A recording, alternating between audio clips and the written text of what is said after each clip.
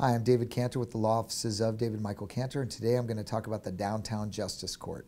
Now, if you received a misdemeanor criminal ticket or a DUI and were directed to go to the Downtown Justice Court, that means you were arrested by either DPS or Maricopa County Sheriff's Office. Um, if you were arrested by a city cop, they should have directed you to city court.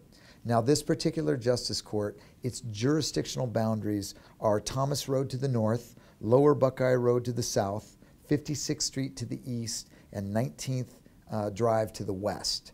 Now the actual boundaries look like this. So it's not a perfect square. You see how it's all over the place? So if you were cited in the downtown justice court, come on in and see us.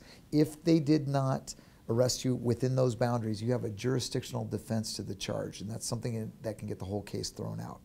Now, this particular court is located at 620 West Jackson in Phoenix, so that's basically West Jackson Street and 7th Avenue. Now, when you show up, the parking is going to be at either meters or at a parking garage that's nearby. You should dress appropriately no sunglasses, no hats, no shorts, no t shirts or tank tops.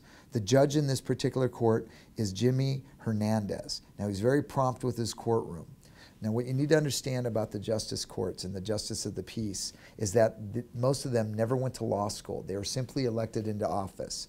And that's dangerous. Could you imagine electing your surgeon on a popularity contest, giving him six weeks of training, and then saying, okay, you're now okay to operate on people?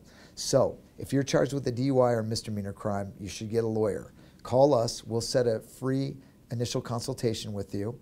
Um, it doesn't cost anything, but it does take about 30 minutes, and we'll go over your case with you from top to bottom to hopefully find a way out of this thing for you. But I look forward to hearing from you soon. Take care.